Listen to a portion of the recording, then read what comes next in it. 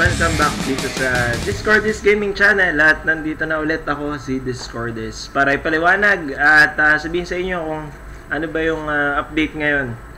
Uh, Ragnarok M Big Cat Celebration. So, ewan ko bakit nila ginawa to. Siguro dahil uh, maglalabas na yung ilalabas ngayon yung Ragnarok uh, Mobile Global. So, siguro uh, para maiwasan yung iba na lumipat, ginawa sinabayan na nila Actually, uh, maganda yung uh, update ngayon. So, basahin na natin.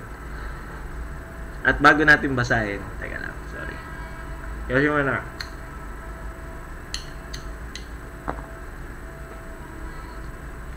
Okay, event 1, double rewards guild donation for limited time. So, ito na yung pagkakataon na sinasabi ko. Uh, tulad ng mga kinausap ko dati ito na yun, uh, samantalahin nyo na ulit yung pang guild donation nyo. Ito na yung pagkakataon para um, mag-donate ulit kayo ng, uh, I, I mean, mag-contribute ulit kayo para sa gold medals, ganyan. Uh, ito na yun, uh, from uh, January 10th to January 17th. So, 7 days yun. So, para sa iba, ang tip ko is um, magtipid uh, kayo. Yung mga seni nyo, kumbaga, lahat ng pwede nyo ibenta, benta nyo muna. Mga hindi nyo kailangan. O yung mga, ano nyo, o mga, may mga naitatago kayong kayamanan, ibenta nyo na muna. As in, ngayon na. Para meron kayong budget pan-donate. Kasi importante to, sayang, sayang na sayang. Double rewards. So, uh, Event 2 Kafra Corporation's gift uh, free teleport ulit tsaka storage malaking bagay malaking tulong din.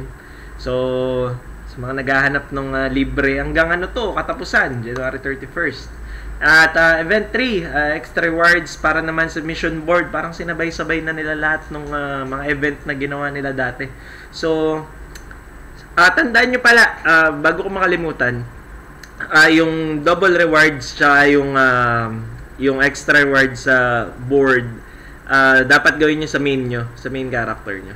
Kasi sa first uh, character lang, under sa account nyo. Huwag nyo kalimutan, baka kasi uh, hindi nyo pala alam, event na, tapos nasa alt kayo, tapos nag-mission quest kayo or nag-donate kayo sa guild. Naku po, sayang naman. So, dapat sa first, ano, um, character nyo. Tapos, meron pa dito, makikita nyo, um, every uh, finish din ng 10 mission boards, meron tayong marireceive na 20 Big Cat Celebration voucher. So, uh, sa tingin ko ito yung feast or oh, feast uh, voucher to, 20. So, ang dami nun. Tapos, uh, ayun, one character lang din per account. Tapos, uh, yung first uh, one is January 14th pa naman to 21st. Tapos, yung sa pangalawang uh, event is uh, 22nd to 29th.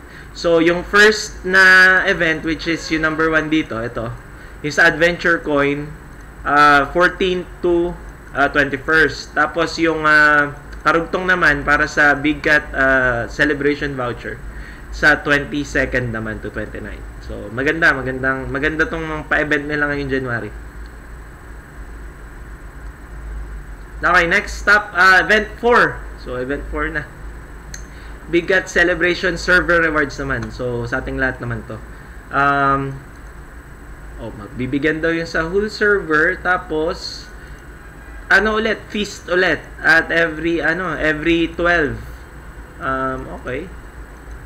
Sa tingin ko, i-release nila yung feast sa 25th na naman. Uh, ganong, uh, ganong month, ay, I mean, ganong day talaga sila naglalabas nung uh, gacha. Tw- mga 20th or 25th So, ipunin nyo lang. Ang event time naman is January 10 to 30th, so 20 days. So, event 5, uh, back to the OG. Kafra Made, take you back in time. So, may mga pa-quest na naman sila. Parang uh, yung sa Rudolph lang or something. Parang ganon, sa mid ng frontera. Uh, meron naman special gift box na ginawa. And ewan ko lang kung ano yung laman. Ayun. Finish uh, finishing five time traveling uh, will uh, traveling will receive a big cat celebration limited uh, achievement love and courage. So limited daw per account. So ayun, sa tingin ko um pwede man yung gawin to sa main nyo Or uh, actually sa alt pwede. Hindi ko lang alam kung shareable. Pero ang maganda niyan sa main nyo na lang gamitin. So, mission accepting time is January 10 to 24. Tapos, mission finishing time January 10 to 31st. So, meron pa, 6. Ang dami talagang event na, na ginawa nila. Kontra global to ah. Kontra global warming. Kala. Big Cat Celebration Rewards Giving Back. Ito yung para sa mga nag-premium uh, for the last 3 months. So, act, kung nag-activate kayo tatlong premium cards, meron kayong Fantasy Generator 3 gift times 1. Hindi ko sure kung, uh, ay hindi, pakiramdam ko, uh, lahat tong tatlo, makukuha nyo kung tatlo yung premium card na inano nyo. Kung bagay, wahiwalay siya. Hindi siya specified ko, kunwari, tatlo yung na-activate mo, ito lang yung makukuha mo. Pakiramdam ko, tat, uh, tatlo talaga siya. Uh, since iba-iba siya ng, uh, I mean, iba-ibang type to eh. So, cute pet gift. Ewan ko lang kung cute talaga yung lalabas dyan. At event time niya is uh, sa 10th to 31st.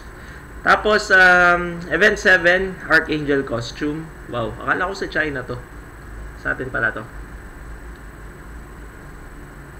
Blessing Poet, series costumes will have 10 times more chances to be drawn. Totoo ba to? Ewan ko na lang. Uh, wala na akong balak magmamili ng ano, Big Cat voucher. At ang, I mean, uh, Big Cat coins. At ang last na event is event merchant discount. So, maganda to kasi uh, during the event, uh, lahat ng uh, binibenta sa event merchant, 50% discount. So, pero limited lang sa first 100 na items per account. So, yung kunwari yung uh, pang-reset ng skill, sa tingin ko hindi na kailangan ng pang pang-reset, pang-reset na 'yan.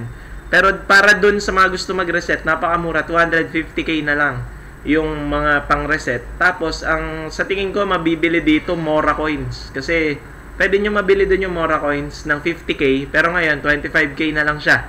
So samantalahin niyo na lang din kung 100 uh, ah, ano yun, 100 uh, Mora coins uh, gastos din kayo ng 2.5M pero pwede na 100 uh, Mora coins yun. Medyo mahirap din kumuha ng Mora coins lalo na sa BCC nung nakaraan na event na nagpa-event sila sa box. So yun. Maganda-ganda yung uh, pa-event nila ngayon dahil nga release na mamaya nung uh, global. So para dun sa mga gusto maglaro uh, nagtinry ko kanina. Um, nag naghihintay na lang ako mag-open yung server. Pero wala namang sinabing restriction sa akin So, ayun, shoutout ulit sa mga nanonood dito sa Discord This Gaming Channel. Maraming maraming salamat sa suporta nyo at kung nagustuhan nyo itong video at yung iba, iba pang video, don't forget to like and subscribe at i-share ang um, itong channel or uh, specific video na nagustuhan nyo. At uh, shoutout nga pala sa guild ko, uh, BlitzPH. Um, sa mga sa poging-poging GM ko na si Asura, sila ka sila Carol at um, sino pa ba? mga estudyante ko, sila Budum, si Cannabis at si Khalifa na hindi ko talaga mabuffs ngayon na nagtotopak yung Sky. Hindi ko alam kung dahil sa Nazareno or something. Pero hinihintay ko na sana maayos, uh, sana maayos agad bukas dahil start ng event. So, maraming maraming salamat sa panonood ulit at ito ulit si Discord is signing off. Rock and roll guys. So, nagpakita na ako ah. Bye-bye.